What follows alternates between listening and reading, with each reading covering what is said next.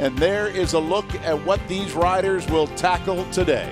Heading westerly, these riders will be facing a, a wind that's not quite as stiff as you'd expect out here. It's actually a relatively calm day. The first sprint here in uh, Beaverlodge before making their way back towards the circuit.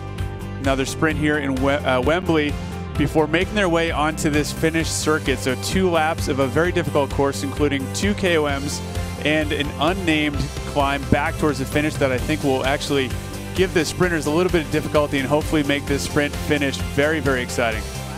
Looks like we have uh, the Silber Rider going first, Benedetti after him. O'Donnell trying to get back on terms, but it's about 225 meters until that line. Oh, he's really rocking his bike right now. Ben Perry now down, trying to finish it off with 200 meters to go. And the devil, you say, trying to urge them on in the final meters. And it is Ben Perry of the Silber team, a Canadian team in the Tour of Alberta, made the attack. Nobody else was able to go with him. There. 200 meters to the top and the line with the extra points. And on, on Route 66, you will see the devil. Amazing how he makes an appearance on Route 666. And there goes Perry again. Ben Perry just put that together perfectly, just the same way as the first time round, measured it and took off. Now it is really crunch time. They are inside that 1K to go mark. One more turn, Rob, one more turn before they make their way into the finish line.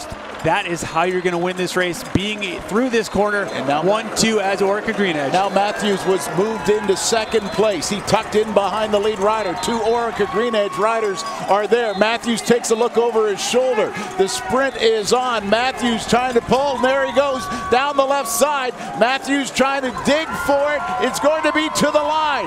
Matthews right now in the lead, wheel to wheel, and it will be oh so very close. Is it Matthews or did he get nipped? At the line. Really, oh boy.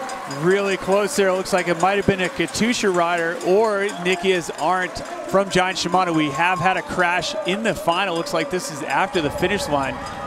Riders really going for that line, Rob. You throw your bike, you might have a, you know, trying to get that extra couple inches. You end up on the ground like these two riders. Looks like it is a Bora Argon 18 rider and a Smart Stop rider. Mike Matthews, Nikias Arndt, Alexei Tsatevich, Travis McCabe, and Sam Bennett, the top five on stage two. And talk about a team effort.